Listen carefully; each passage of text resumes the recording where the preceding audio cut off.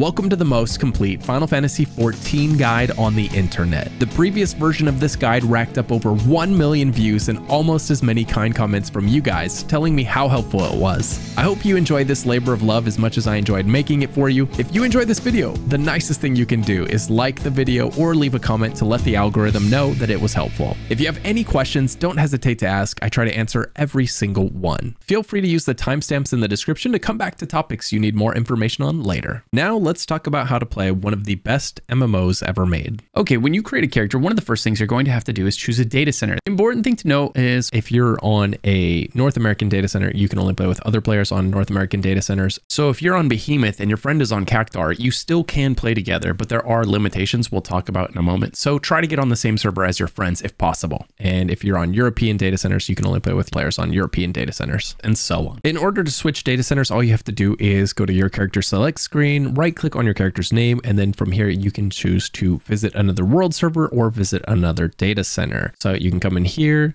select the world, it'll populate the list and you can choose which one you want to go to and which world you want to go to on that server. If you're visiting another server, there's going to be limitations. You won't be able to join their free company. In other words, you won't be able to join their guild, but you will be able to join a link shell where you can talk to them from server to server. But if you want to be in their free company, make sure you end up on the same server. It's going to make life a little bit easier for you. If you see this star like this one here on Primal, that's encouraging you to create a character on one of these servers on this data center. What that means is you're to get increased experience here. There's incentives here that are saying, hey, we need more players to play on this data center. So we're going to incentivize that with extra experience and things like that. And generally speaking, if you don't have a reason, like a friend on one of these other servers already, definitely take advantage of that because there's nothing wrong with the server. It just so happens that more people created characters on these servers for one reason or another, and they need to balance out the server load. And so they're rewarding people. You get a 90 day XP buff. So three months of much, much increased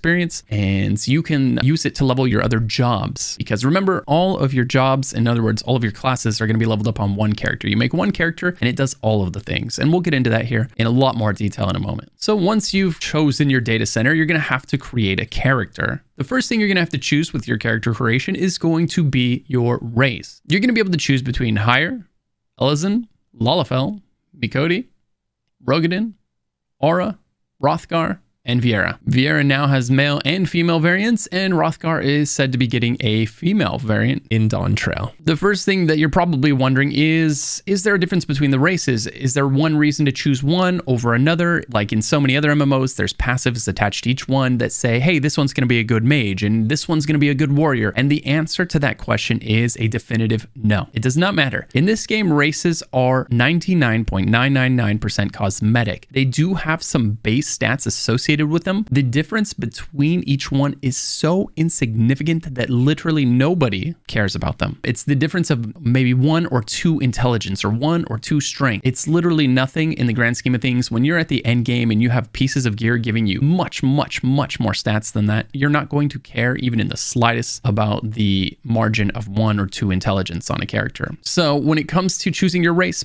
pick the race that looks cool to you. Pick the race that you're going to be attached to. If you want to be a massive Roegadyn, then go for it. And if you want to be a cute cat girl, live your best life. Once you've chosen your race, it's going to let you choose between different clans. Clans are another way of changing the character cosmetically. They do again have slightly different stats, which you can see over here on the left. But again, I can't express to you enough how much these don't matter. So please don't make your character decision based on those. Don't choose something that you're less excited about simply because it had two more dex, right? It doesn't matter in the long run. I promise promise you. You will regret it if you do this. It is also worth noting that if you do create a character that you don't love, like down the road, you wish you wouldn't have made that race or you wouldn't have made that look, or, you know, maybe you would have maxed out one of the sliders that you didn't max out. You do get something called Fantasia later on. A couple of times while playing through the game, it's given to you, and you can use this Fantasia to change your character's appearance, which means you'll be able to change everything about them. You basically recreate the character from scratch when you use the Fantasia. So you can go from a guy to a girl, you can change your race, you can change your look looks. Everything can be changed with the use of the Fantasia, and you're given about one or two of these while you're playing through the story of the game. So you're not locked into your look forever, so don't stress it too much. Make something that excites you and get into the game and have some fun. Before we head into the next section, let me tell you about Waven. Are you ready to sail the seas and become a legend? To explore islands and uncover their secrets? If so, I've got the perfect game for you. In Waven, the world is nearly destroyed, leaving only islands behind. You wash up on shore and set out to explore those islands and unravel their mysteries. In this this sequel to the Wakfu animated TV series, you will collect unique decks of skills to take on monsters and, if you want, other players. Waven is an incredibly unique and charming tactical MMORPG that will be unlike anything you've played before. You can play it on PC and Mac with mobile coming soon, making it the perfect RPG to cozy up to this winter. While adventuring, you'll find and upgrade your equipment. You can travel alone or team up with friends to fight the underworld monsters and complete quests. Waven has just added new competitive features, story quests, and characters, and its community is growing faster than ever as a result. Best of all, Waven has just added a brand new hero, the Astromantis. This hero has been a fantastic addition that you can earn for free. While exploring, you'll find all sorts of hidden treasures and Easter eggs. So what are you waiting for? Waven is a breath of fresh air on the open sea, and it's free to play. Download Waven now now using the link in the description below. It's rated incredibly well on Steam, and it's available on PC and Mac with mobile coming soon. So what do you have to lose? Give it a try. And shout out to Waven for sponsoring this video and supporting this channel. Thanks so much for listening. Now let's get back to the video. All right, once you've picked your clan, you're gonna get to choose between assortment of things like height, bust size, and hairstyle, right? You get to choose between all of the things you're used to choosing between when creating a character and an MMO. Down here in the bottom, you can change the scenery scenery and the lighting to see what they look like in different conditions, just in case you want to make sure they look good in the real world. And then it's going to ask you a couple of RP questions. This has no bearing on your character's strength or power or anything beyond the RP. It's going to ask you to pick your birthday, which you can do. And then it's going to ask you to pick a patron deity. Again, just pick the one that looks cool to you. Maybe it has a cool symbol, maybe it's got some cool lore, but it's going to have no bearing on your character in the actual game. Finally, you'll be able to choose between gladiator, pugilist, marauder, lancer, archer, and the disciples of magic, Conjurer, Thaumaturge, and Arcanist. So you've got your Disciples of War, who are going to be your physical damage characters, and your Disciples of Magic, who are going to be your magic characters. You choose Gladiator if you ultimately want to be a Paladin. You choose Pugilist if you ultimately want to be a Monk. You would choose Marauder if you wanted to be a Warrior. You would choose Lancer if you wanted to ultimately be a Dragoon. And you would choose Archer if you ultimately wanted to be a Bard. Under the Disciples of Magic, you would go Conjurer if you wanted to be a White Mage, Thaumaturge if you wanted to be a Black Mage, and If you wanted to be a summoner or a scholar. Arcanist is unique in that it leads to two different jobs. The jobs that I've mentioned so far are the ones that you get as a direct result of starting of one of these things. The gladiator will turn into the paladin, and the pugilist will turn into the monk, and so on. Whereas the other jobs that I've not listed, such as the ninja, the samurai, the reaper, the machinist, the dancer, the red mage, the blue mage, the astrologian, and the sage, the dark knight, and the gunbreaker, right? All of these other jobs you can unlock by doing a quest. They don't require you to have been a certain starting class. They require you to hit a certain level and then you can do a quest and unlock them. And it doesn't matter what you were before then, right? So there's only a handful of jobs that require you to start as something specific and the rest you unlock simply by hitting a level threshold, doing the quest, and then you unlock them. So if you're trying to decide what job you want to be, if you wanted to be a melee DPS, you would be choosing between Monk, Dragoon, Ninja, Samurai, Reaper, or the newly added Viper, which is a dual wield job being added with the Dawntrail expansion. If you wanted to be a ranged physical DPS, you would be a machinist, a dancer, or a bard. And if you wanted to be a magical ranged DPS, you would be a black mage, a summoner, a red mage, or the newly added Pictomancer, which is a mage with a paintbrush as a weapon. Then there's the Blue Mage, but it's important to note that the Blue Mage is a bit of a unique specimen in the game. It's not really viable for endgame content. Its level caps out lower than the rest. It's just kind of a fun side thing for soloing and kind of being overpowered in early game content. You wouldn't plan on maining a Blue Mage. It would just be an alt that you unlocked and leveled up when doing various activities throughout the game. With Dawntrail, they're adding a second limited job, which is going to be the Beastmaster, which is going to work the same way. If you wanted to be a healer, you would go either White Mage, Scholar, Astrologian, or Sage. And if you wanted to be a tank, you would go Paladin, Warrior, Dark Knight, or Gunbreaker.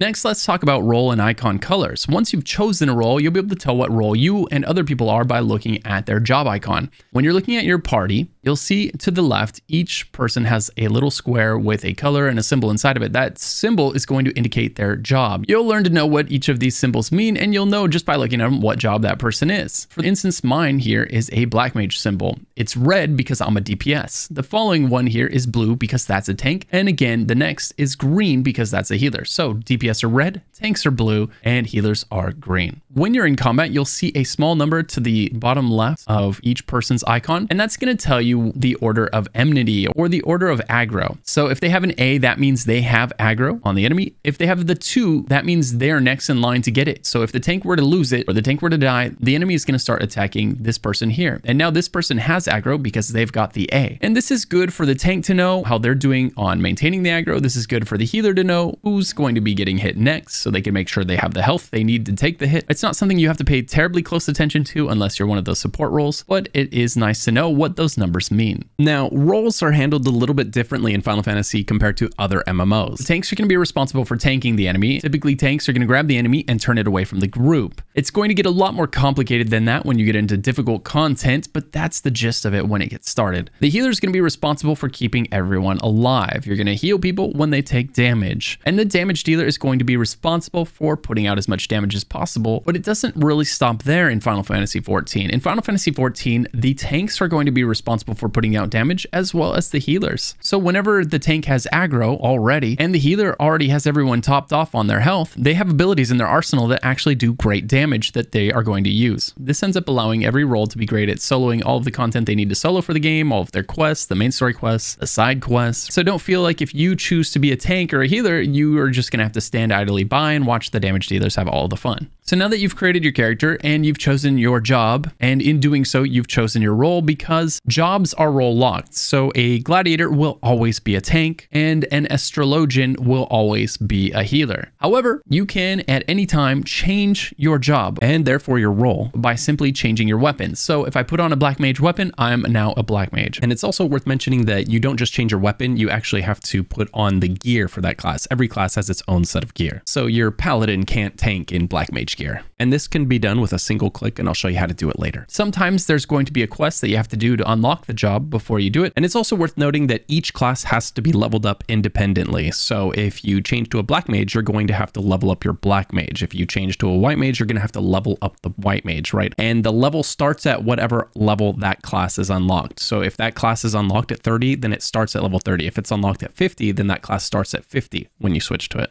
And if it unlocks at level one, that's right, you're leveling it up all the way from level one. And you can change between them anytime you want with the simple click of a button. We'll get into more about how to do that later, but just remember that the job you choose and the role that comes with it is not the only thing that you're going to be allowed to do going forward. Because anytime you want to play DPS, you can equip a Black Mage weapon and then become that job, and now you're a DPS. And you're more than likely going to end up with more than one job at max level. And if you feel up to it, you'll have more than one role as a result. Now that you've created created your character, you've chosen your job, and therefore you've chosen your role, it's time to start doing some questing. What should you be doing first in Final Fantasy XIV? First, let's talk about the variety of quests that exists in the game. Final Fantasy has four different types of quests that you're going to see all over the game. The type of quest that you're going to want to focus on is the main story quest. That's this symbol right here, the flaming meteor kind of falling out of the sky. That's what this is supposed to represent. And you should basically be following this quest chain all the way through the game.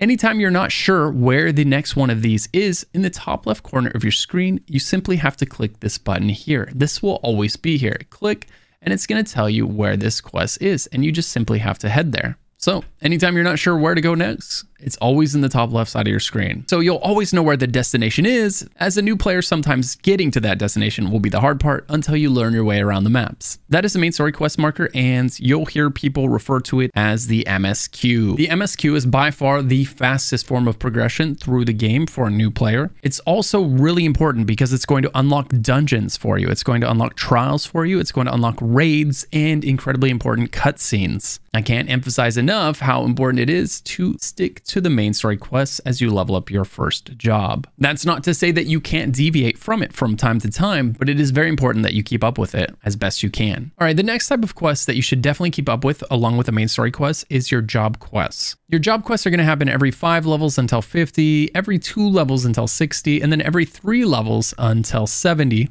And then at 70, they'll be replaced with something called role quests which you'll be forced to complete before you can continue the main story quests at level 80. These job quests serve to provide a story for the lore behind your job, as well as unlock passives and abilities for your job. So it's very important that you do these quests, otherwise you're going to stop unlocking new abilities and new passives, which is going to severely limit the power of your character. So make sure that every once in a while you check in on your job quests. You can find your job quests right below the main story quests in the top left. It'll appear there whenever you have one to do and you can go do it. Simply click on it, which will open the map and tell you where to go. The next type of quest we're going to talk about is these blue quests here. When you see this blue symbol with the exclamation point and the plus sign on it, these quests are the most significant quests that are not main story quests. These are going to do things like unlock other jobs, unlock dungeons or trials, which makes them the most important non-story quests that you can do. If you're curious what they're going to give you, you can always right click on them and look at the rewards. This would give me the soul of the gunbreaker and a gunbreaker weapon, allowing me to turn into a gunbreaker. So this unlocks the job job of the Gunbreaker. So again, it's important that you do all the main story quests. These blue quests are worth looking into. However, you don't need to do all of the blue quests. There are tons of blue quests because there's tons of jobs and there's tons of dungeons and there's tons of trials to be unlocked in this game. And you don't necessarily need to unlock every single one of these things and do every single one of these blue quests as you're going along. Pick and choose from the blue ones. Definitely check out the NPC, see what they're offering, see if it's something that you want. Maybe it's an Aether Current that's going to ultimately allow you to fly in that zone if you collect it, right? That's something something that you would want to do. Whereas if it's a job that you know you're not interested in playing right now, you can put that off until later and focus on the main story quest and keep progressing your character. As you can see in this small area that I'm standing in right now, there's three blue quests that I could do.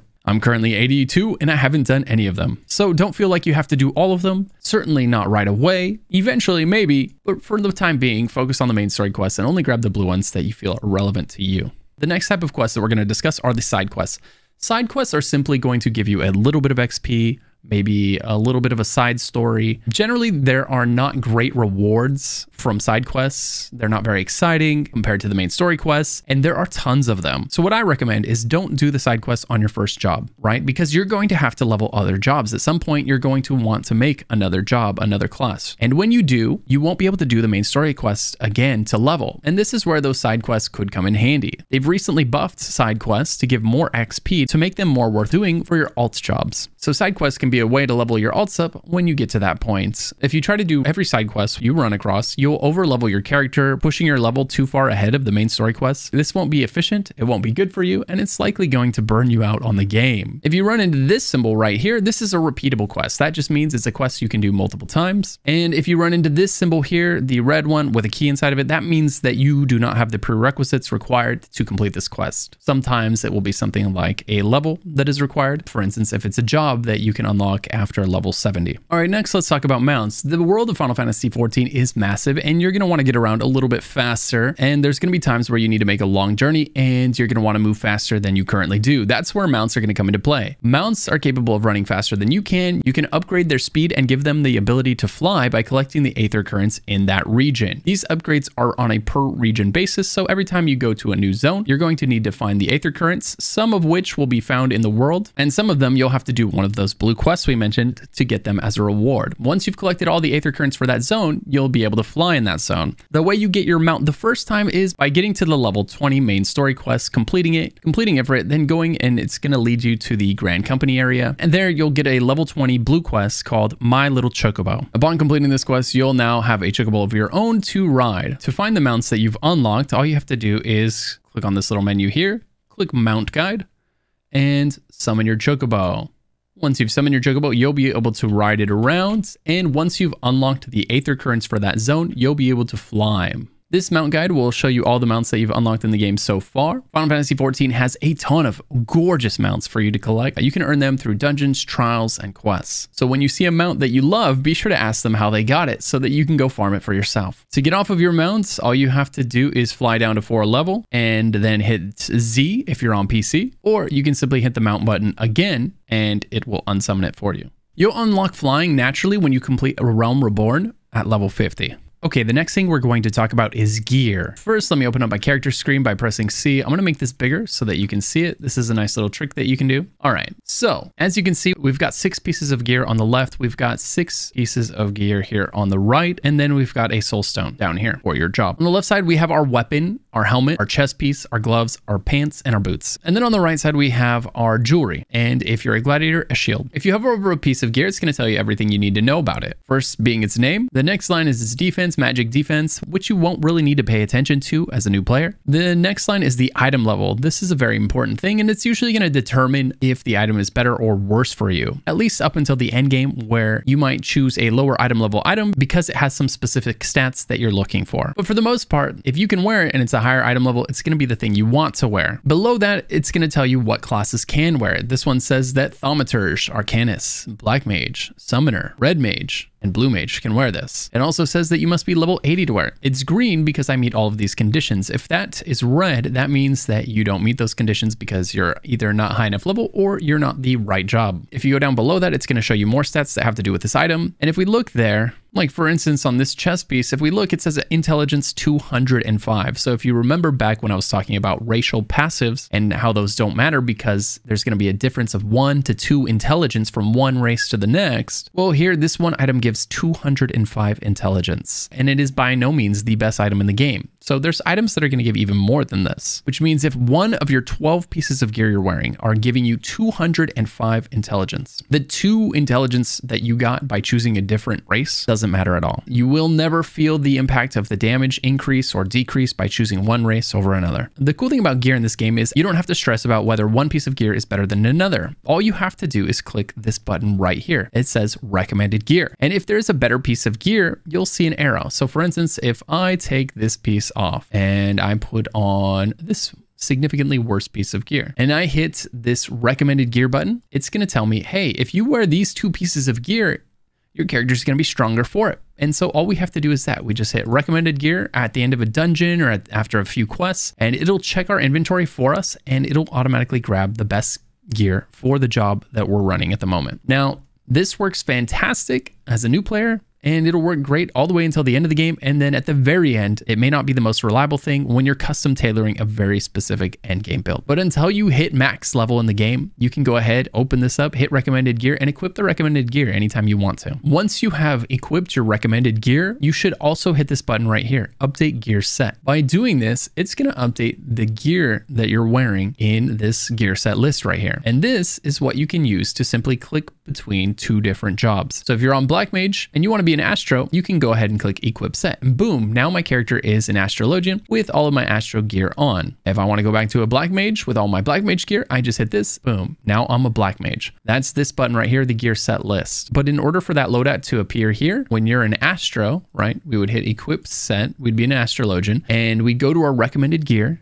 and we'd say, hey, put on all the best stuff for the Astro, equip, and then we'd tell it to save that loadout, update gear set, yes, and so now, anytime we open this up, We'll have our most up-to-date Astro build. We'll have our most up-to-date Black Mage build. And the other reason that it's useful to save your gear here with this button is when you go to sell gear to, for instance, your grand company, you can tell it not to even show you the gear that you've saved here, okay? Otherwise, when you go to get rid of a bunch of gear, it's gonna show you all the gear in your inventory, some of which you might be using on one of your jobs or another. So if you save it into here, it won't even show you the gear that is being used by one of your jobs. And this will prevent you from selling it on accident, which is great. So to recap, hit your recommended gear button, equip it, then update the gear set so that it saves it into your gear list. And then anytime you want to change between them, you can do that at a moment's notice. This makes it so that even a brand new player is always going to be wearing the best gear that they have available to them. Now, what if you want to look at your gear that you've collected in a dungeon? You might hit I and open up your inventory and notice, hey, I don't see the gear that I'm picking up. In fact, I just see a bunch of random stuff, maybe some crafting materials, maybe some quest items, right? In order to look at your gear on computer, you're going to hit Control I. This opens up your armory chest. Your armory chest is an extension of your inventory. You can also get there by going through the menu system and just clicking on armory chest down here. Okay. But this, what this does is it breaks all your gear down by type. So all of your weapons will be here. You click here for all of your hats. You click on the chest to see all of the chest pieces you've collected, the gloves for all of the gloves, and so on. And it's a massive extension of your normal inventory. It just keeps it really nice and organized. So if you pick up a chess piece that you uh, want to look at, you can go in here and look at specifically the chess pieces and see the chess piece that you picked up. If you want to, uh, let me make this bigger so you can see it easier. And then if you want to, uh, maybe you pick up an item, but it's not better for you, but you're curious, does it look better than what I'm wearing? You can right click it and say try on, and you can see how it looks on your character right? So maybe you don't want to use it, but maybe you want to glam it. And we'll talk about how to do that later uh, so that you can wear it to maybe make your character look cooler. Okay, so now that you know how to open up your character screen and equip the best gear every once in a while. Just do this after every few quests, after every few dungeons, uh, or whenever you're thinking about it. You know, you got some gear and you're curious, hey, was that better for me? Go ahead and slam that button, hit equip best, and, then get back to the fun. You know how to open up your inventory. You know how to look at the items that you've found. Now let's talk about combat. The first thing you need to know about combat is the global cooldown. The global cooldown is the timer you see counting down every time you press an ability. You can't press any ability that is on the global cooldown until that time timer runs out. You can, however, press the off global cooldown buttons, otherwise known as OGCDs. You'll unlock these as you level up, and these will give you buttons to press while you're waiting for that timer to go, which will do a lot to speed up the pace of battle. In the early game can feel a little bit slow. You'll also get abilities to proc. Proc abilities can be seen by the yellow lines rotating around the ability. Whenever you get one of these, generally it's a good idea to activate that ability. It'll oftentimes be instant cast, it won't cost resources, it'll do more damage, and a host of other beneficial effects like that. So generally when you see those yellow lines, you want to use it. Although that isn't all the case, there's no one size fits all answer for your rotation in this game, but it's certainly a good rule of thumb to follow. The next thing to know is that this game has a host of forecasts. When you see this symbol over someone's head, that means they're going to explode. You want to be away from that person. When you see an arrow pointing down on either a person or a location, you want to stand there. By being there, you're going to divvy up the damage between the players that take the hit, and if there's not enough people there, then people will die. And then, of course, you have your standard forecasted ability where an area will turn yellow, signifying you don't want to be standing there, otherwise you'll take damage. Another mechanic you might see is an eyeball over the boss. If you see an eyeball, a red eyeball over the boss looking at you, you want to turn your character away from that, not your screen, but your character. So make sure your character is not facing the boss when they have the red eyeball over them. If they're looking at the boss during this, you will have failed the mechanic, which might result in your character being mesmerized and attacking fellow teammates, or perhaps just killing over dead. It depends on the boss fight. These aren't all of the mechanics you need to know in the game, not even close, but these are the ones you're going to encounter early and often, and will be great to have under your belt, and will save you and your team a lot of pain. Some classes in Final Fantasy XIV will have something known as positionals. In other words, you'll have to stand in a certain area to do the most damage possible possible when using that ability. Some abilities will do extra damage from the flank. So if the boss, if for example, is if this striking dummy was the boss, this arrow means the boss is facing this way. Generally, that's where the tank is standing and that's why the boss is facing there, right? So if I was the tank, the boss is standing here and you were using a skill that did extra damage from the flank, you would want to stand either on the left side or the right side of the boss. You want to be on the side of the boss for a flanking ability. If it says it does extra damage from the rear, you want to be back here in the rear where there's no circle. So if you were the DPS hitting from the rear, you'd be right here. And if you're hitting from the flank, you'd be right here. The next thing that we can talk about is your job gauge. Every class has something known as a job gauge. The job gauge is something you'll unlock as you level up your job. It's oftentimes a resource management system and a burst window system for your character. Managing your job gauge efficiently while using your abilities is going to do great things for your damage, your healing, or your tanking. When you're casting abilities, you'll see certain things on it light up and it's going to change from job to job. And I'm not going to be able to go over that here for you specifically because, like I said, it's different for every job, but just know know that you will unlock a job as you're leveling up and the gauge will unlock more and more features as you go through it, allowing you to become more and more powerful. When you get your job gauge, make sure that you take the time to understand it because this is going to determine how well you're doing with your job. Next, let's talk about your Chocobo companion. Around level 30 or so, you're going to unlock the ability to summon a Chocobo to fight alongside you when you're solo questing. In order to unlock it, you're going to need to do a level 30 quest called My Feisty Little Chocobo. So once you hit 30, be sure to go do that. In order to summon your Chocobo, you'll need some Gysahl Greens. Go ahead and click it. It's going to summon your Chocobo by your side, who will help you in combat. I highly recommend making your Chocobo a healer. This seems to be the most effective for me, at least. Anytime you're out in the world killing things, have your Chocobo out, and it does level separately from you. If you go into the menu and click on Companion, you'll be able to look at your Chocobo Companion's skills and level. Here you can see this character's Chocobo is rank 3. You can see what command commands he has. He acts on his own accord. We don't need to use his abilities. He'll do it himself. And here you can choose which ones to level up. We've unlocked a new level, so we could either choose to put a point into Choco Drop, a defender ability, or an attacker ability, or we can continue to go down the healer skill tree, which is what I'm going to do. So we're going to increase HP to ultimately unlock stronger healer abilities. So if you're ever out in the world, make sure to summon your Chocobo. Your Chocobo will stay out for 30 minutes for each Gysahl Green that you use. This stacks up to two times, so you can use two Gysahl Greens in a row to keep your Chocobo out for an hour. If you look up here in the top left, it tells you exactly how much time is left on your Chocobo summoning. Right now, mine has 28 minutes. Another cool thing about your Chocobo is it has its own inventory. If we click on Chocobo Saddlebag right here, it opens up our Chocobo Saddlebag, and you can see that we can hold 70 items in here. All this is is an extension of your inventory. You can access it at any time, so just treat it like more inventory space. It's something a lot of people don't even realize they have. All right, next, let's talk about fall damage. How does fall damage in Final Fantasy work? And can you die from fall damage? This is one of the first things we always want to know when we jump into a new game for the first time. We go find that tallest surface we can and we jump off of it to see exactly what happens to us when we do so. Well, if you're like me, you'll be excited to know that you cannot die from fall damage. Sort of. Simply falling from a high ledge will not kill you. The worst that will happen is it will take you down to one health, one HP. Now, as I'm demonstrating here, my character survived with one health and it'll quickly start regenning. If I had been in combat when I made that jump, I would have died when I hit the ground. So you are not exempt from dying to fall damage while you're in combat. And if you hit the ground and you're at 1 HP and then you aggro a mob and it hits you, that can kill you. But fall damage alone while out of combat won't kill you. All right, now let's talk about what happens when you die in Final Fantasy XIV. You're going to be left with two options. One, to wait for a res, and two, to choose to go back to your home crystal, or if you're in a dungeon, to go back to the beginning of the dungeon. When you respawn, your gear will have taken some damage. That is this green health bar next to all of your gear in your inventory. As it takes more and more damage, this bar will get smaller and smaller, signifying that you need to repair it. In order to repair your gear, all you need to do is look for a hammer on your map.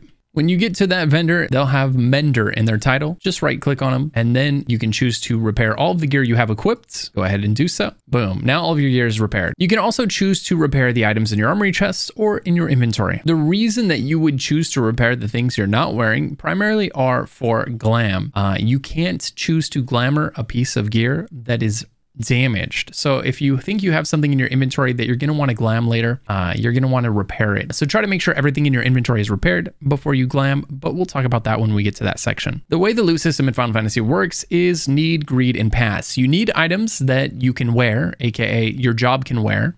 If you can't wear it on the job that you're currently playing, it won't let you need it, but it will let you greed it. This gives priority to the person playing the job that the loot dropped for. So if White Mage gear drops, the White Mage can need it. That would give them the gear if all you were able to do was greed it. If they don't need the gear and they choose to pass or they choose to greed, then you can choose to greed it and then it will roll between all the people that greeted the gear. And if everybody passes and one person greeds, then the person that greeds gets the gear. So in summary, you can need it if it's for your job, you can greed it if it's not, and you can pass if you don't want it. Okay, now let's talk about a staple in any large RPG or MMO, and that's fast travel. In Final Fantasy XIV, fast travel uses aetheryte crystals. So you see these really large aetheryte, that's what this giant blue crystal is here. You would come up to this if you've never touched it before, you would right click on it, and that would attune you to it. After attuning yourself to it, you can open up the map at any time and teleport to this aetheryte from anywhere in the world for a small gold fee. The gold cost for teleporting around is fairly trivial. I've never been in a situation where I was spending more gold to teleport around questing than I was being given as a reward for questing, so feel free to teleport around pretty liberally. There's no sense in running somewhere when you can teleport there. Now, this is the big aetheryte crystal that you can teleport to from anywhere in the world, but there's more smaller aetheryte crystals in each town. So that will be the Aethernet. There are crystals scattered throughout this zone here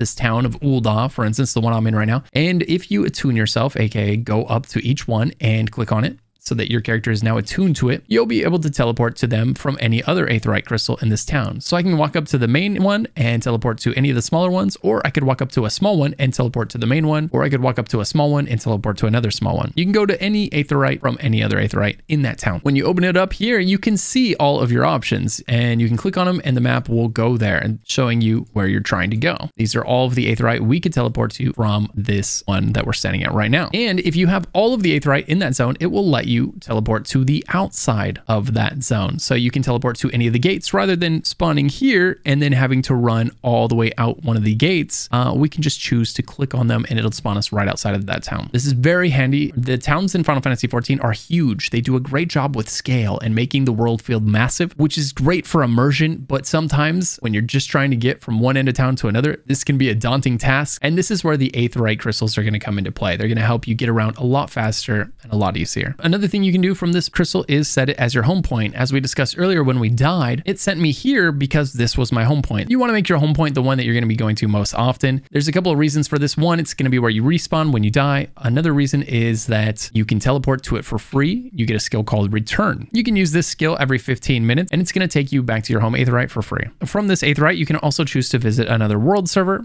Uh, if your friend is on another server on the same data center as you, you can also register a crystal as a favored destination or a free destination if you don't want it to be your home point, but you know you're going to be going there often and you want cheaper travel. Speaking of getting around, once you start collecting aether currents so that you can unlock flying in expansion zones, you're going to unlock something called an aether compass. Be sure to put that on your bar so that you can click it at any time. It's going to tell you how far you are from an aether current. Once you collect all of the aether currents in a zone, you'll be able to fly in that zone. So if we click this compass right now, it's going to tell me right here in the middle, uh, 296 yalms to the northeast is where the nearest aether current is. A yalm is a yard. You can tell by the first letter. So if it says ilm, it's an inch. If it says yalm, it's a yard. If it says malm, it is a mile. So just remember the first letter is what determines the distance, okay? It's it's pretty much always going to give it to you in yalms. Sometimes during cutscenes, you'll hear them say ilm or malm or something like that. And now you'll know what that means. So we're going to go ahead and travel to the northeast here towards this aether current. And this is how you're going to find all the aether currents in the game. And now if I click it, it says it's 75 yalms to the east, okay? And then east of me here, we see it right there. That's what the aether current looks like. So we're going to go over there and get it. And we click here, right click on it, attuning to the aether current. Now we've unlocked this aether current in this zone. And if you wanted to hunt the next one, you could click the compass again. And it says there are no nearby currents, which means you have all of the currents that you can get in this zone by simply running around looking for them. If you're still missing currents in this zone, it's likely going to be one of these blue quests. And if you go and you click on that blue quest, it will tell you if the reward is an aether current. And the way you check on your progress with your aether currents is you click on the travel button right here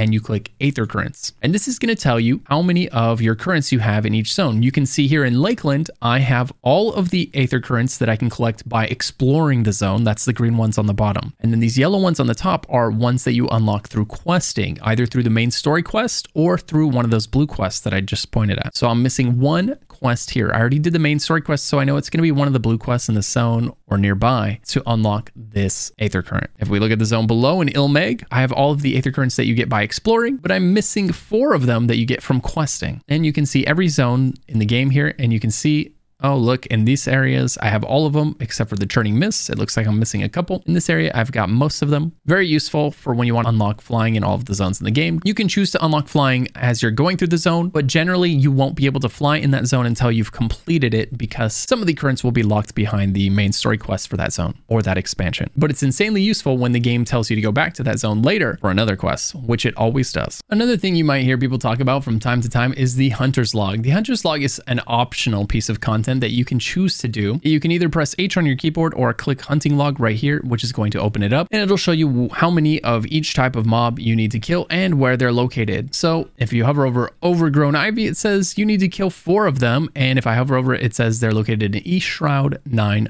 ivies. I hover over the Kedtrap. It says this is South Shroud Upper Paths. So I would open my map and I would click Shroud. Then I would click South Shroud and it says Upper Paths and so then I would go to the upper paths area and look around for that mob the Kedtrap. All I would have to do is teleport to Quarry Mill and then run on over here to the upper paths and look for the mob. Every time you fill out one of these logs, you're going to get a little boost of XP and it's going to tell you exactly how much XP you get each time. It's not a terribly significant amount. It's not something you have to do, but you can unlock some pretty neat stuff by doing so. Because they've expedited leveling up so much in the early game now, this is more of a completionist type of activity than it used to be, as you used to need the extra XP to fill the gap in the main story quest levels. You used to go through the main story story quests and you would get to a quest in the main story quest you couldn't do because you weren't high enough level. So you needed to go out into the world and do fates or hunter's logs uh, to get the XP needed to continue progressing with your quest. But that doesn't really happen anymore. They've streamlined the main story quests so much now that you usually won't need to do something like that. But if you do find yourself needing a little bit of extra XP or you just want to change the pace a little bit, go ahead and start hunting things down in your hunter's log. And if you're ever out in the world and you see this symbol over an enemy's head, be sure to kill it. That signifies that it is a mob in your hunter's log that you will need to kill to complete it. And since you're standing there and it's standing there, you might as well get it knocked out. Hunts can unlock everything from mounts to currency to cosmetics and gear.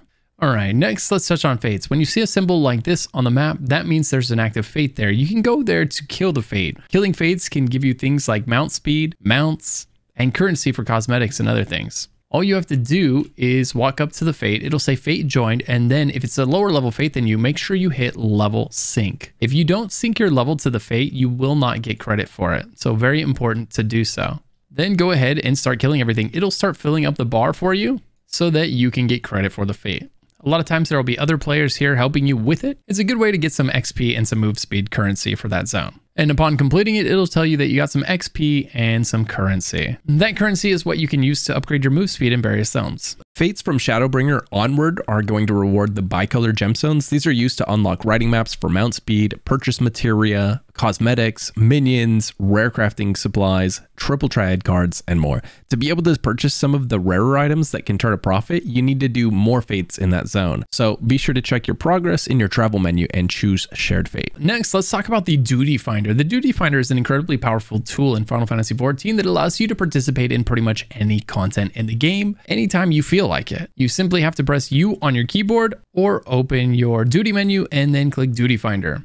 The first section in the Duty Finder is called the Duty Roulette. The Duty Roulette is fantastic for leveling up your second and third jobs. When you don't have access to the main story quests anymore for easy XP, you can do the Duty Roulette. What this will do is it'll put you into a random dungeon or leveling quests or trial or main scenario or alliance raid or normal raid, right? You choose the one that you want by checking them and then you click join and it'll throw you into one of those things and it'll tell you what you're going to get. You're going to get this XP plus some bonus. And then here, this symbol right here says adventure in need is a tank. So tanks will get a further bonus to the rewards that are listed here. So if they're low on tanks and you sign up as a tank, you get extra experience extra gil, that sort of thing. Uh, you also get tomestones of poetics and stuff like this. You can use these to buy the best in slot gear for each uh, expansion. So all in all, your duty roulette is something that's very much worth doing when you're looking for XP, gil, or tomestones. Alternatively, you could come in here to queue up for a very specific task. Let's say you unlock a dungeon in A Realm Reborn and you want to knock it out. Well, you can come in here, queue up for that dungeon specifically so that you can get it done for your quests and then continue on with your main story quests.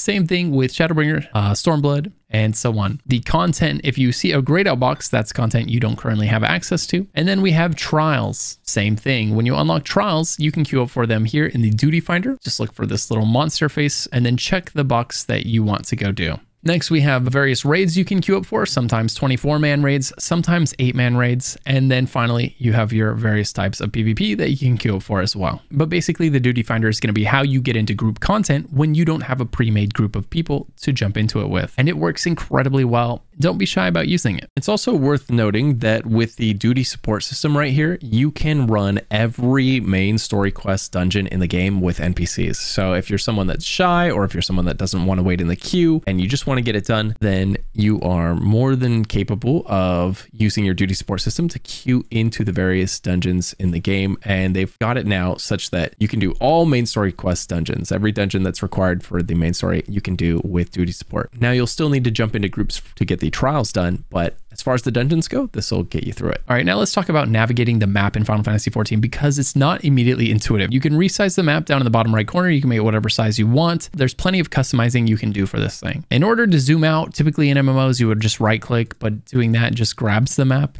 and you don't zoom out. So what you can do is you can hit this up arrow here in the top left to zoom out. Now we are zoomed out to see the entire area of Coerthas, right? And then we have all these subzones within it. And then you can hit the up arrow again to zoom out even further. Now we're looking at the entire world map for the game of Final Fantasy XIV. At this point, you can click on another zone if you would like to look at the zones within that zone, and then you can click on the wine port to teleport to that zone. Important quests that you're tracking will be on here. So like if you're looking for your main story quest, you can zoom all the way out and then you can see, oh, there's my main story quest. Alternatively, you could just click on the main story quest up here, right? And the map will go there and it'll show you this. And so then you can click on it and then you can click on New Gridania, boom, and now I'm there doing my main story quests. Another way to get around the world is to hit your teleport button that should be on one of your bars somewhere, and it will just open up a list of the world broken down by region. These are the same regions we were looking at there, La Noscea, the Black Shroud, right? And you can just look at each one individually and go there if you know where you're going to go. When you're a new player, these names don't mean a lot to you and you don't know what's in each place. So this isn't terribly intuitive, but once you've been in the game for a while, this might be a faster way to get where you're going. Or perhaps the game tells you to go to an area and you have no idea where it is. Well, you can come in here and you can look for that name. It's worth mentioning though that one cool thing that they added to the game is up here in the top right, you can click teleport settings. And if you don't really know these places by name, like let's say you don't know what the Far East is and which zones are going to be in there, right? You're not alone. You can come in here and you can go open teleport settings and you can choose to display by expansion. So if you know that you're in Stormblood or Heavensward, right? And those names are familiar to you as opposed to Far East, you can click that, and now it's going to sort them by expansion. So you've got Realm Reborn, Heavensward, Stormblood, Shadowbringers, Endwalker, right? Which are all the expansions here that have come out. So if that's a lot easier for you to remember your way around, then feel free to go into those settings and change that setting right there. Next up, let's talk about retainers. Retainers are your bank alternative. There is no bank in Final Fantasy XIV. Instead, you use retainers. These are basically mules that you can store your items on. They're also used for a lot more than that at the same time. So retainers are a pretty big deal in this game, and they're pretty easy to overlook for a long time if you don't know how useful they are. So as soon as you hit level 17, you can do a quest called Scions of the Seventh Dawn, and this will unlock your retainers. And you can get two right away, and then you can get as many as 10 total if if you want to spend a little IRL cash. But the two that you can get in game without doing anything extra is perfectly fine. That's more than enough. I've never needed more than two. So once you do the quest and you create your retainers, you're going to come over to the summoning bell here. And this summoning bell is going to allow you to pull out your retainers that you've created. You get to customize how they look and their personality. So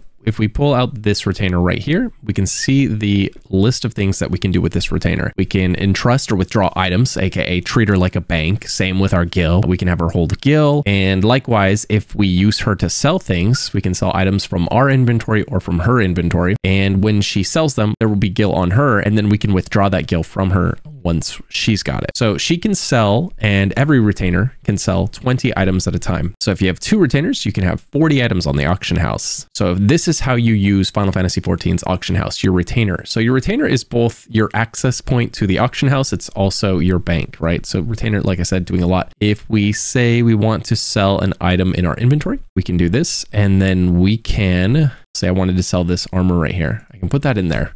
And then I have no idea how much that's worth, right? Who, who knows? So we can compare prices. There's a little button right here. We click that and it's going to show us what this is listed for right now. So there's some as cheap as 8,976. So maybe I would want to list this and undercut it. Another thing you can do is you can click this history button right here to find out if it's actually selling. Like, yeah, people are listing it for this price, but is anybody buying it for this price? That's very important to know because sometimes there's just new players listing things that nobody's going to buy, right? So we could check the history. Now it turns out there was one of these sold on 113, but before that on 1222. So this is not something that sells very often at all. Very, very infrequent frequently. So if you listed an item like this, it would be unlikely that it's going to sell. And you can see this, the price is just kind of fluctuating all over the place here when it does sell, but there's far more listed than are being bought. So just something to be aware of, but that's how you could kind of get a feel for if you wanted to undercut the market, you just click the compare button. And then from here, you can find out if people are actually buying it or not, and you can check right? So that is how you sell items on the auction house in Final Fantasy XIV through your retainer. You can also view your sell history so you can see items that you have sold in here.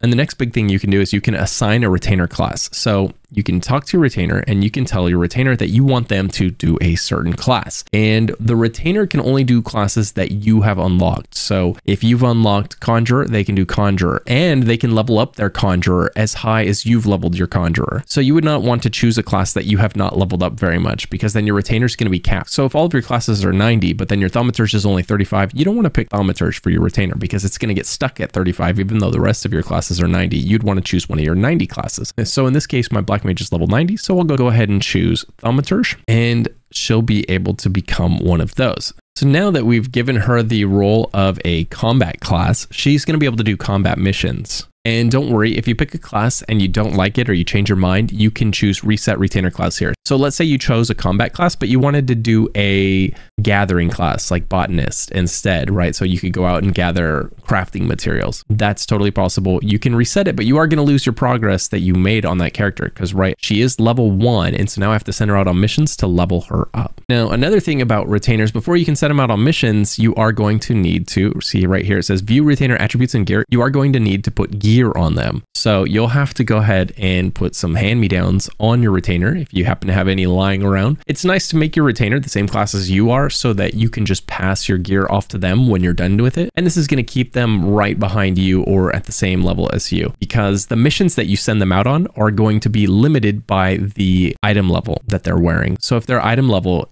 right here. Mine is 000 on this character because I haven't put any gear on her. But if it was 300, then she'd only be able to do little missions that were up to 300. If you send your retainer out on what are known as quick missions, they're going to bring back crafting materials, dyes, or housing items, things like that. If you send them out on combat missions, they're going to gather stuff from the things they kill, like leather or bone. And in order to send them out on missions, you're going to need this currency called venture coins. And there's a few different ways to get that. One of which, and probably the easiest, is to get it from your grand company through the use of seals. You'll get tons of seals once you get into your grand company and you start working on that and you can use those seals to buy these venture coins. Anytime you have more seals than you need, venture coins are always a good thing to buy with those, by the way. Alternatively, you could pick up venture coins at the Wolves' Den Pier or even hunt vendors. Now, if all of that information about the retainer sounded like way too much information and you're just feeling a bit confused and overwhelmed, don't sweat it. You can completely ignore every aspect of the retainer except for its banking function until later on when you're looking for something extra to do in the game. A lot of people play this whole game and never touch any of the other functions like sending them out on missions and all of that stuff. It's totally possible to just ignore that if it's something that just seems like it's a bit much work for you. Another thing worth mentioning is the Hall of the Novice. The Hall of the Novice is something that you can do to unlock gear and cosmetics and also train yourself in your class and your role. Feel free to hit it. Just go to your duty, go to Hall of Novice and go here if you feel like you wish you knew more about how to play your class or your role in the game and click begin and you can unlock some cool stuff. Okay, next thing we should talk about is the inn and the innkeeper. In order to find the inn, look for the bed on the map and if you hover over it, it will show you an inn. This will be in all of the large main cities go ahead and head to the innkeep, right click on them. And before you step into your inn, there's always a mender right next door. So be sure to repair your armor before you go in here, especially if you plan on doing some glamming. And you talk to him, he's going to say, do you want to go into your inn room? We'll say, yeah. Once inside the inn room, you have a variety of things that you can interact with. You've got a summoning bell to interact with your retainers. You've got a crystal bell that will summon the esthetician. This will allow you to change pretty much anything on your character that you could change without plastic surgery in real life. So your hairstyle, your hair color, you know, your eyebrow shape, your lipstick, you know, certain things like that. You could change your scars, I guess that's technically, but you know, it's it's topical stuff. You can't change your gender or your race here, but you can change some pretty topical features. It's very nice that you can do this in game just by interacting with the station. You've got your toy chest, which lets you do a little mini game. Uh, you've got your armoire, which allows you to store items, remove items. Now let's talk about the glamour dresser. This is probably the most important thing in here, and this is going to be all about your fashion portion of this game how do you see all those cool looking characters running around? Well, a lot of times you're going to find gear in this game that looks really cool, but it doesn't have great stats. Or you'll get a quest item that looks really cool, but again, it doesn't have great stats. Or maybe it's too low level for you, but it looks way cooler than anything you've got right now that you're finding at a higher level. Uh, there's a lot of items in the game that just look really cool, but they're not necessarily best in slot for stats. So this is where the Glamour Dresser comes into play. What you're going to do is you're going to click on your Glamour Dresser and then you're going to look for the item. Let's say you found or you farmed a really cool looking weapon, right? And so you scroll through here and you find that weapon and let's see, we try this one on to make sure this is the one. Yes. Okay. So we found this weapon. We're like, damn, That looks great. I really want my character to look like he's wearing this weapon all the time. Even though I'm wearing something else, this just looks so much cooler than the boring weapon that I'm wearing. So I would click this. I would left click it, right? And it says use a glamour prism to move this into your dresser. And I would say, yes, do that. And by doing so, it would now be here in this list of weapons that I could apply, right? So you have to use the Glamour Prism. It's an item that you'll find in your inventory and you can purchase in game and you'll even get some of them as a quest reward when you unlock Glamour. Here they are right here. I've got 220 of them, right? So every time I add an item from here and I put it in my dresser, it's going to cost me a Glamour Prism. But when I need to apply it in here, it's not going to cost me anything anymore. I can use it forever. So I would then pick one of the weapons that I put in here. So let's try on this one. What is this? Uh, no, you know, I don't like that one that much. Let's see what this one is. Okay, we've got this one, and then I would apply the glamour, and then now my character, when I'm running around, it looks like I have this weapon on, even though the weapon that I'm actually wearing looks entirely different. It's a cool system. It's a little bit confusing to navigate this menu right here. Just remember that this over here is where you choose main hand, offhand head, body, hands, right? You can filter by sections of the body and then look for the gloves that you found that you want to try on. You know, make sure to right click, try on, and make sure it was the gloves that you wanted before you then click on it and add it to your glamour over here. Okay. And then once you've added it, you just go to the corresponding ones. Like if I added those gloves, I would go here, you know, and apply the glamour and then boom, my character looks like he's wearing these gloves, but he's actually wearing these gloves that look nothing like that. There is one thing to note about the glamour system. Now, when you're low level, you're going to be changing gear a lot, which means you're going to replace these gloves, right? You'll take these gloves off and you'll put another pair of gloves on. And let's just do that for examples, see what happens here. So my character, actually, we'll do it with a chest. It's more obvious. We'll open up my inventory and we'll put on a different chest piece. Okay. So we put on this chest and now my look changed. And this is going to happen to you a lot when you're leveling up. You're going to put on a new piece of gear and it's going to replace your glamour that you just put on, making your character look all beautiful and sexy, right? And this is going to happen every time you upgrade to a new piece of gear. But you can fix that problem with glamour loadouts.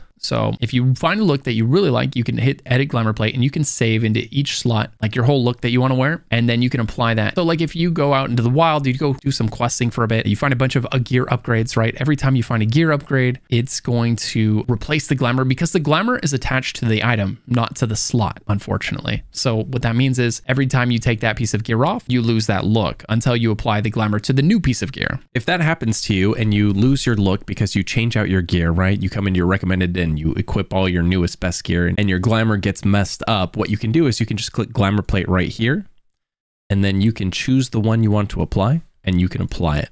So if I wanted to reapply this look after I changed a bunch of gear and it messed up my glamour, I could just come in here and click one button to apply it, or I could go to this one and apply this same way. If you want to dye a piece of gear, all you have to do is right click on it, click try on, then from here, right click again on the piece of gear and click enable dye preview. Now you have your dye screen open and you can see what it looks like if you were to dye it any of the colors that you have available to you. Once you found the color that you liked, you would just simply hit apply and it would apply this dye to this outfit. It's recommended that you apply your dyes to your glamour as opposed to your armor and that way every time you apply your glamour, you get that dye attached to it. Remember that you will have to have the dye in order to dye the outfit. You can buy dyes from various merchants in the game, and you'll also be given them as rewards for various quests in the game. All right, let's talk about the group content that Final Fantasy XIV has to offer. First of all, let's talk about the dungeons. Dungeons in Final Fantasy XIV are woven into the story, and so you'll be doing your main story quests to unlock each one of these dungeons. There are also some side dungeons that you can unlock through the blue quests that we talked about earlier. The dungeon groups are four person groups with two DPS, one tank, and one healer. Each dungeon has three epic boss fights, and it's a great way to get everything from gear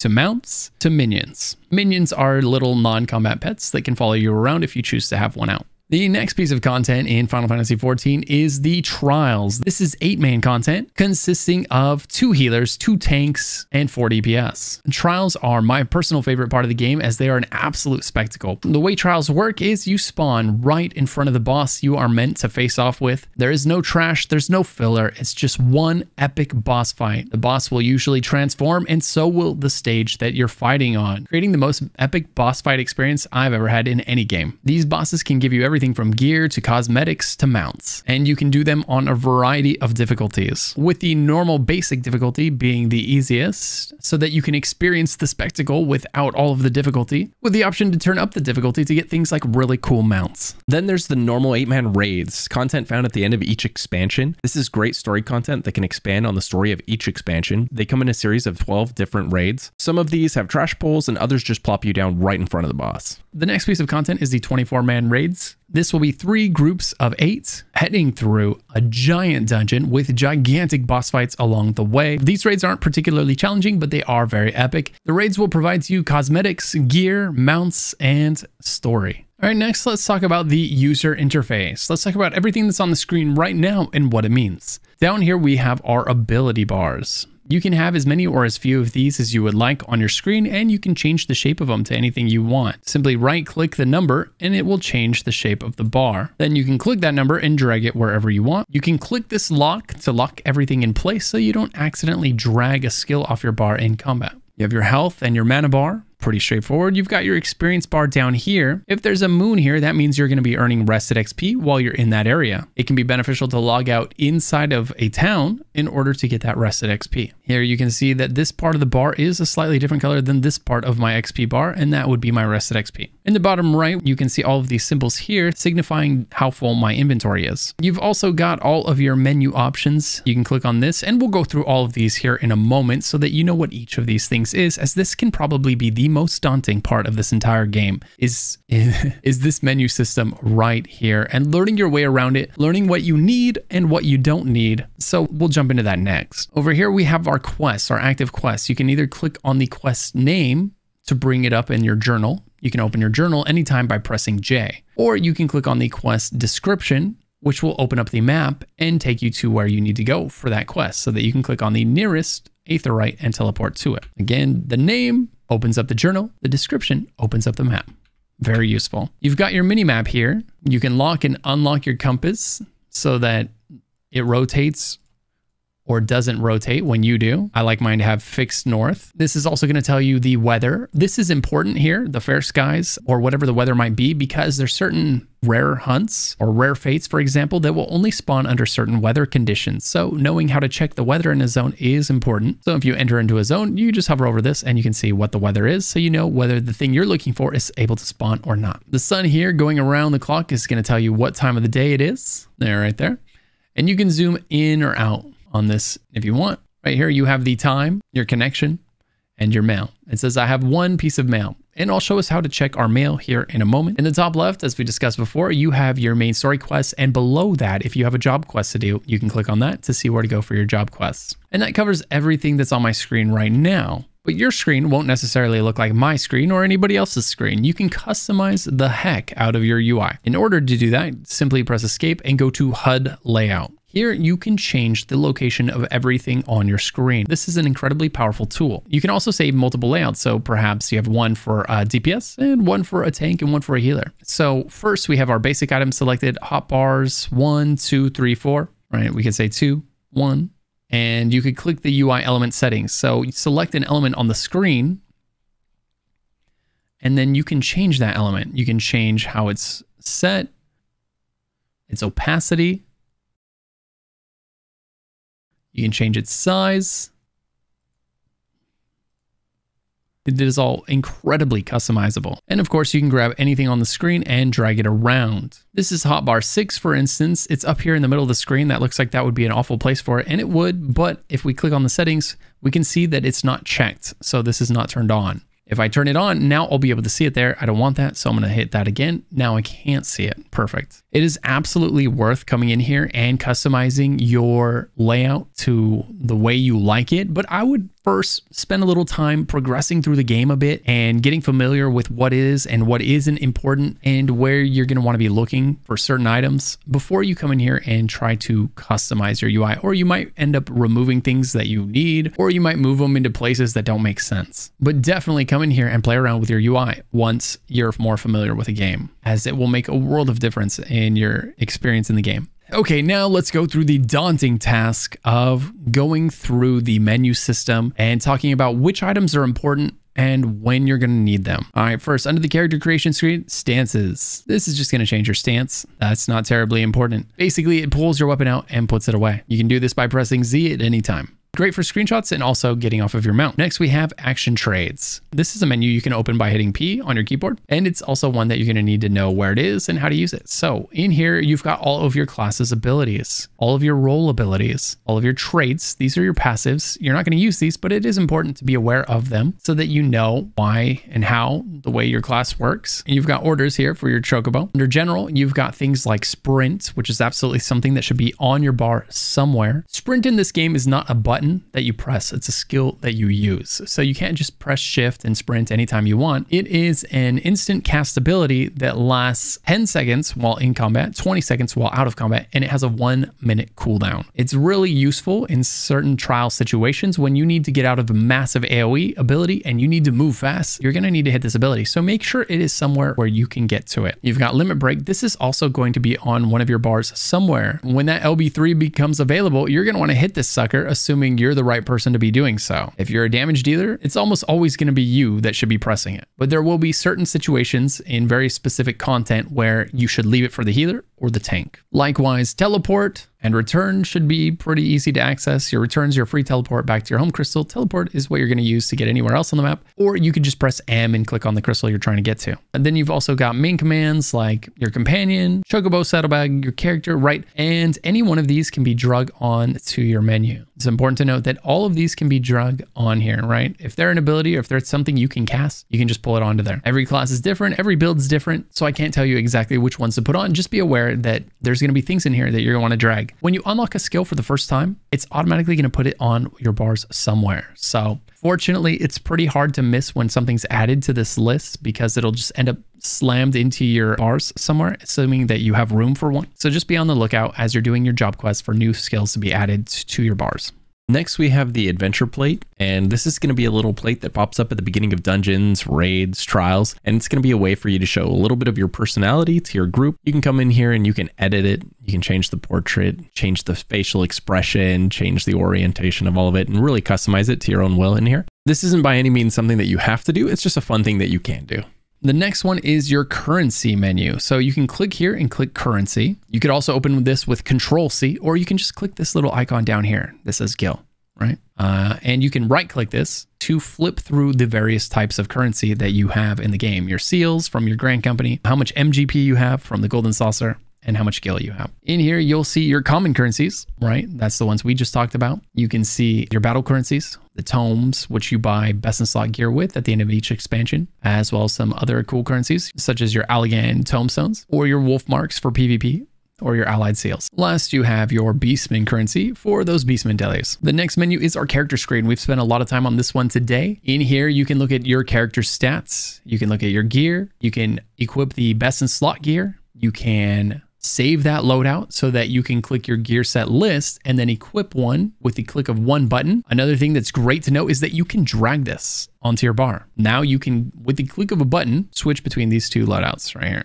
The next tab is your profile. This is going to tell you information such as your grand company that you're in, your name, what race you are, what your city state is, and things like that. Here you can assign a title to your character based on things that you've done in the game. You can also look at your classes and your jobs that you have leveled up and what level each one is. If it's grayed out, that means you have not made it or unlocked it yet. And then you can also check your reputation, which is going to show you your commendation. At the end of every dungeon and trial, you get the opportunity to commendate someone else in the group and likewise, they have the opportunity to commendate you. You only get to pick one person to commendate, so don't feel bad if they don't choose you. People typically choose the tank or the healer if they have time to choose at all before everybody has left the dungeon. So if you're looking for commendations, make sure you give those new players time to get out of their cutscenes so they can commendate you before you leave. You can also see your reputation with various beast tribes. The next item is the armory chest. We can open this with control I at any time. I for inventory, control I for our armory chest. This is the one that just breaks it down by weapon, helmet, chest, right?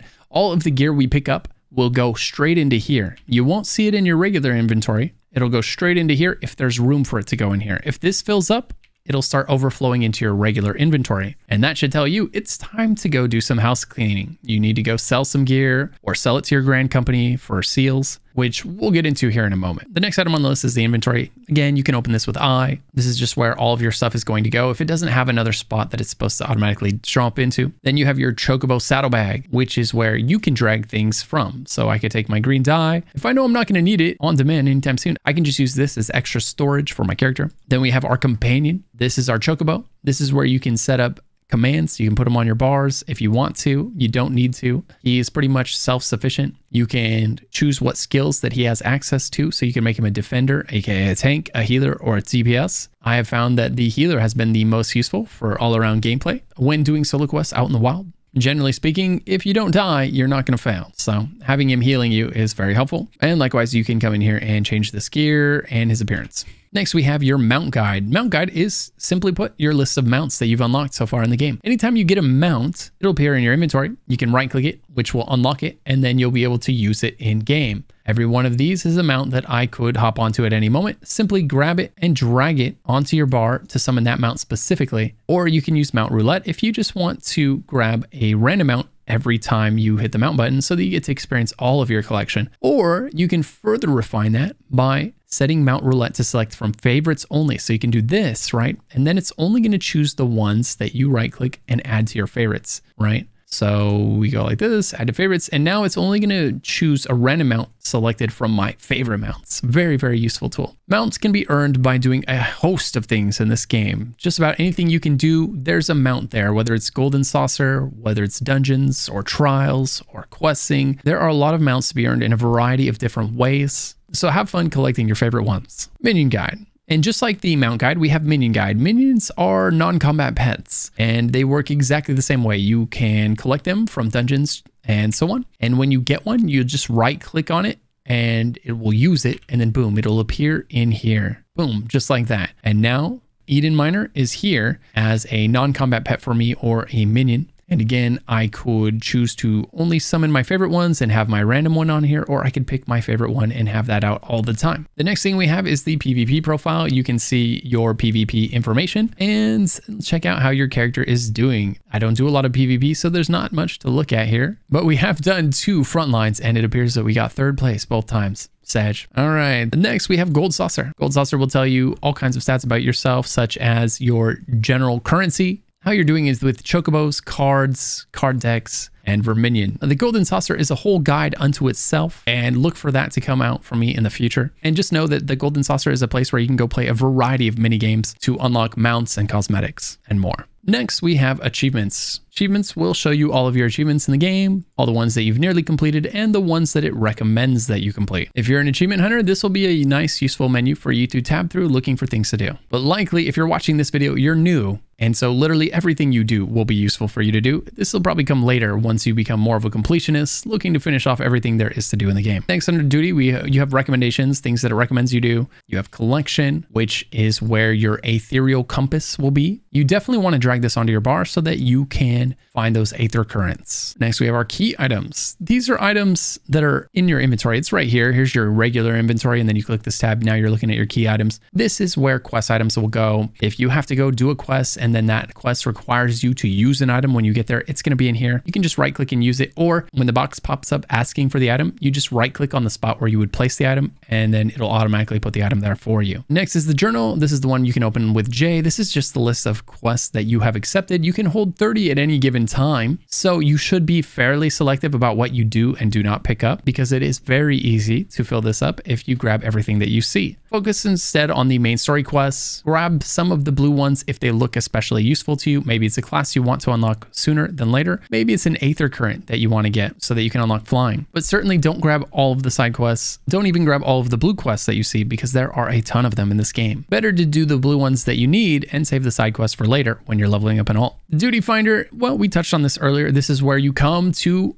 jump into any piece of content in the game that requires other players to join you. Your queue will be incredibly short as a tank or a healer, and expect to wait a little bit longer if you're on a DPS. As always, there's always more damage dealers than the other roles, so your queue times may vary, though my queue times lately have been great even as a DPS, rarely waiting over 5 minutes. Your duty roulettes is one of the best ways to level up other jobs. After you've leveled up your main with the main story quests, duty roulette will make your alternate jobs fly through the levels. So definitely take advantage of each one of these when leveling up a new job. Next, we have Trust. This is where you can put together a party to do various dungeons in the game with NPCs instead of with real people. Maybe you just want to jump into a dungeon and you don't want to wait for that DPS queue. You just want to get in there and get it done right now. Well, you put a trust together and you register for the duty that way. Now, it's worth noting that the trust system was really only a thing in one expansion, so for the rest of the game, what you're going to be doing is using the duty support system instead. Works very similar. Next, you have New Game Plus. If you want, if you've already done the game on your main and you want to go through that main story again on maybe a new job, you can do that with New Game Plus. Just be warned, you can't use this to level up your character. Because the main story quest does not give experience in New Game Plus. Next, we have Halls of the Novice. We touched on this earlier. This is what you can use as a new player, and I highly recommend you engage with the system. You can get cool things, cosmetics, gear, and most importantly, some knowledge on your role. If you've never played an MMO before, definitely, definitely use the Halls of the Novice to kind of get a feel for what you will be doing in this game and what your role is going to be responsible for. Next, we have timers. This is a nice list of all of the timers in the game. It's going to tell you when certain things are ending, when you're going to get your next mission allowance, when the next fashion report is going to begin, or where the current one ends right? These are various activities you can participate with in game. Eventually, when you start doing that, you're going to be curious how much more time you have left in the current activity and how long until the next one starts. So this would be where you would come to find that. In the next menu, we have the hunting log. The hunting log is the one we touched on earlier. This is where you can come and look for mobs to hunt. By participating in the system, you can unlock various XP and cosmetic rewards. Hunt logs stop at around level 50, so it can be something that's interesting to do for your early game characters as a way to break up the main story quests, but it is absolutely not required and it's something you can totally overlook if you choose to, as the XP you get from it is not nearly as necessary as it used to be. Next, we have the sightseeing log. This is just a list of hidden places that you can find in game and interact with to unlock these. Visiting all of these locations will give you things like cosmetic rewards.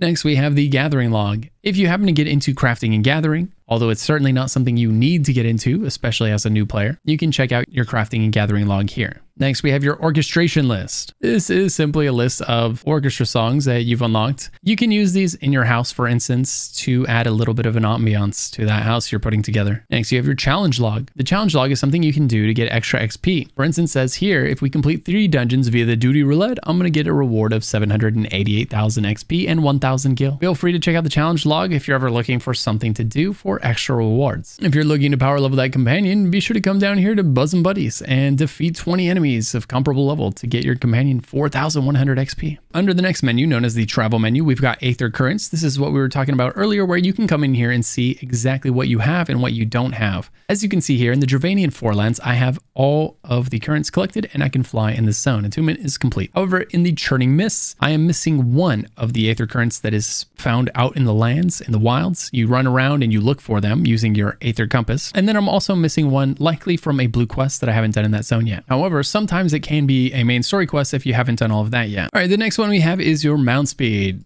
This is going to show you your mount speed in each zone. Um, you're either going to have no stars or one star or two stars, depending on the zone and what you've done there. In order to get one star in a lot of zones, all you're going to have to do is the story quests to get through the zone, and you're going to automatically get the one star mount speed. In order to get the second star, what you're going to have to do is the next step here, and that is the shared fates. And if you click on this button, it's going to open up the fates progress that you have in the zones. So for example, in Il Mheg, I've done one gold fate. Your level of participation determines the rank you get. So if you do really well, you'll get gold. If you do a little less well, you get silver. And in this case, you're looking for gold ranking specifically. And once you've done that, you'll be able to go and take that currency that is required to buy the riding map from the NPC in that zone. If you've never done any fates in a zone, it will it will display. There's no information to display here. Next, we have the map. We went over this pretty much in depth earlier. The main thing to remember is that you can resize it. You can zoom out by clicking this button here in the top left, and you can drag it around. You can zoom in. You can click on anything, and you can teleport anywhere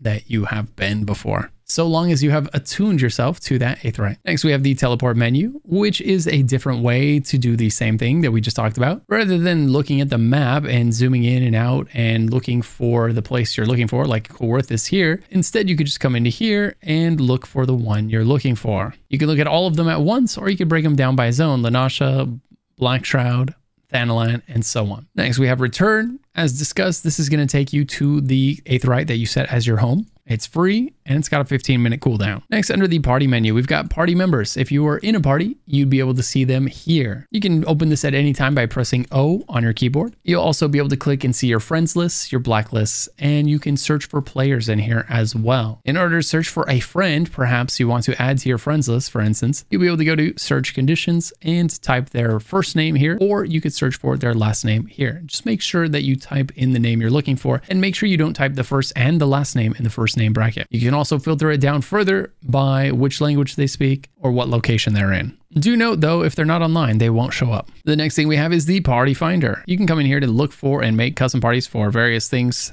there isn't much need to be using this until you are later in the game and you're looking for very, very specific things. The duty finder is going to be a much better tool for you until then. The next thing we have is signs. This is something you can just drag onto your bars and uh, it's great for telling people what they need to do or assigning positions to people in a group so they know what they need to do. This is really just something for the raid lead or the group leader to organize the group, give people jobs or places to stand or to be. Next is waymarks, very much like the party signs. So the signs are going to put on people's heads and then the waymarks you're going to put on the ground somewhere. So what you can do is you can drag these onto your bar and then you can use it to tell people where to stand in a given moment in the fight. Maybe you put these down before the fight and say, hey, when the boss jumps into the air, you need to go stand in this spot. It's a great way for teaching people mechanics in a fight they've never done before and helping them out. Next, we have Ready check. Ready check is something that you can just press and it'll ask the entire group that you're with, hey, are you guys ready for this? And then if they are, it'll tell you everyone responded yes. You can go ahead and pull the boss now. Next, we have countdown. You can set up a countdown anywhere between 5 and 30 seconds to let the group know that you're about to do something. All right, next, social player search. We touched on this already. You can search for friends there. You've got emotes. You can look through your list of emotes that you have access to, and you can even drag these onto your bar if you want to. Great for RPing or just the occasional screenshot. You've got the free company menu, which will show you the free company that you're in. A free company is just another name for a guild. You can level up the free company and the company can unlock buffs for everybody in it. As with any MMO, I highly recommend getting into a free company in this game as the social aspect of MMOs is oftentimes one of the best parts. But in Final Fantasy, it is by no means required that you do so to experience the full game. Next, we have link shells. Link shells are basically like free companies. Link shells are a way for you to communicate easily with people that are not in the same free company as you. This way, if you and a group of friends are all in different free companies, but you want to all be able to talk to each other, you can be in one link shell and you're allowed to have multiple link shells, whereas you're only allowed to have one free company. So yeah, just think of this as a chat room for you and a group of people that want to be a part of it. Sometimes link shells are set up for very specific activities like hunts. Maybe they will announce anytime a specific mob is spotted or something along those lines. And you would join that link shell if you were looking for that kind of information. And then that way, while you're playing the game, boom, you see it in your chat. Someone's like, hey, there's this mob just spawned over here. And you can run over there and join them in killing it. Next, we have cross-world link shells. This is the same thing as a regular link shell, but what this does is it allows you to talk to people that are not necessarily on the same servers. As you can see here, we've got people that are on Behemoth and Hyperion and Exodus, and it allows us to talk to each other even though we're on different servers. Very handy. Then we have friends list, contacts, blacklist. We already kind of went through that when we went through the through the other menu. And then here we have the system menu, which is going to have the support desk. You know, this is where you can obviously do support desk type things, look at the news, contact them for harassment or other things. It is very important to know that Final Fantasy does have a very, very strict policy against being an ass, basically. So if you are the type of person that is typically chewing people out, being mean to people at the end of a dungeon, telling them they're trash, well, you may not want to be that type of a person anymore, not only because it's bad, but also because it can get you banned in Final Fantasy XIV, and easily so. They have a very, very low tolerance for that kind of behavior. Next, we have official sites. You can open this and you can go to any of their official sites. We have the play guide, which you can do and it'll open up a guide on the browser. You've got active help, which you can use to search for various topics in the game. We've got character configuration. There are actually some very useful menu options in here. It's definitely worth going through here and turning certain things on or off depending on your preferences. One of my favorite settings to change was to open all of my inventory instead of just one of them. So when I click on this one, it actually opens all of them in one giant page, as opposed to if it was just normal and I clicked it, it would just be one. With lots of little tabs.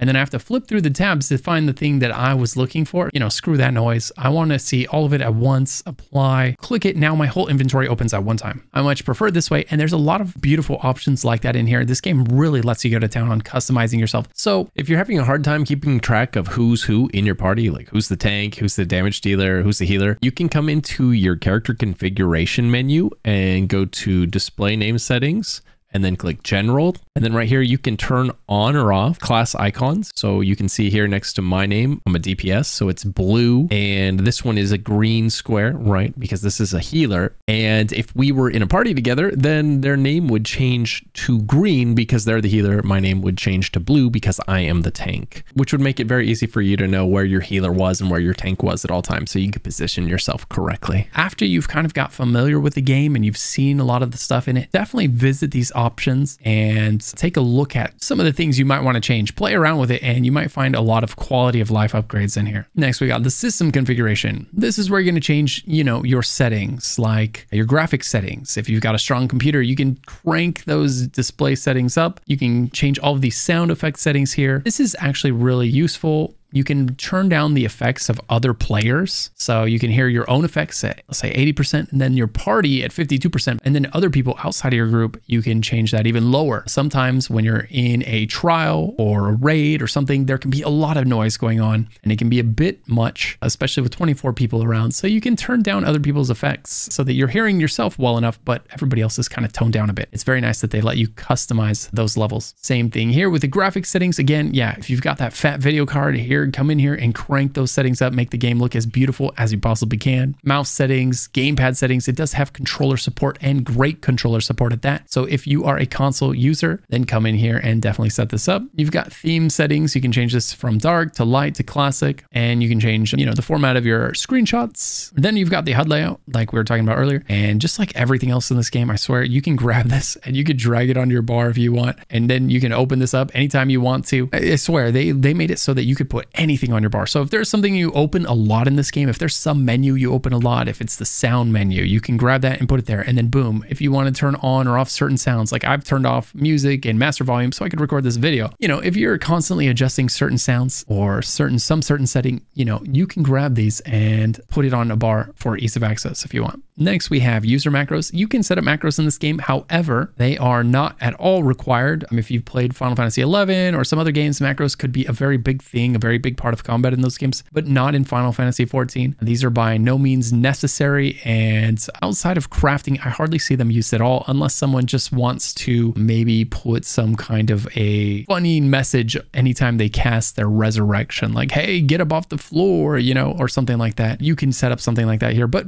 go easy on those. You know, everything in moderation, or else you risk annoying the people in your group by spamming chat with nonsense. Next, we have the keybinds. This is definitely an area you're going to want to visit and spend some time in. Probably sooner than later, you're going to want to get your keybinds set up the way you like it. And there are a lot of keys in this game. You're going to notice here, I've got 12, 24 abilities, and then I've got some run over here. Some of this stuff I've dragged on here just for this conversation. I don't actually use these things, so I can clean this up a bit, but I've got at least 24 minimum minimum abilities that I need to use very frequently. And so the easiest way to go about that is to, well, a use an MMO mouse or something like that, or so that you've got like one through six, you know, and then you hold Alt and one through six, and you got those here, and Control one through six, that sort of a thing, so that you kind of have all of the buttons within hand's reach. Pick the layout that's going to be nice for you and go with that. But the last thing you want to be doing is clicking your mouse to activate abilities in content that's going to be a detriment to your performance. It's likely going to result in you dying or being very ineffective or both. Next, we have license. Well, that's what that says. It's just a license for the game, not something you really need to worry about. Then you have logout and exit game here. Anytime you want, you can pull up the same exact menu by pressing escape, and you can see all of those same options that we just looked at at the end, your HUD, your macros, your keybinds, and how to exit the game. Quick shout out to my fiance. You can find her on Spotify by searching for DeshPlease. Link will also be in the description.